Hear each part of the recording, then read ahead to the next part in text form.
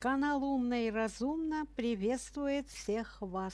Летом в жару, а особенно если принимать душ более двух раз в день, используя мыло и другие косметические средства, можно нанести серьезный вред коже. По словам дерматологов, излишне горячая вода в сочетании с мылом может привести к сухости кожи и ее обезвоживанию. Регулярное использование геля, в составе которого есть такие компоненты, которые содержат содержит натрий, может разрушить липидный барьер кожи и способствовать проникновению патогенных вирусов и бактерий. Вполне допустимо принимать душ с моющими средствами не более двух раз в день. Каждый день с помощью геля или мыла необходимо мыть только те места, где расположено большое количество потовых желез паховая область, подмышки и ноги. При этом горячая вода намного сильнее вредит телу, чем холодная. В зимние месяцы горячий душ приведет к шелушению кожи. Соблюдая все эти правила, вы подарите своей коже красоту и молодость. Не забудьте поделиться этими простыми советами с вашими знакомыми, а также подписаться на канал «Умно и разумно», чтобы знать больше полезной информации. Благодарю вас за внимание. Всем пока!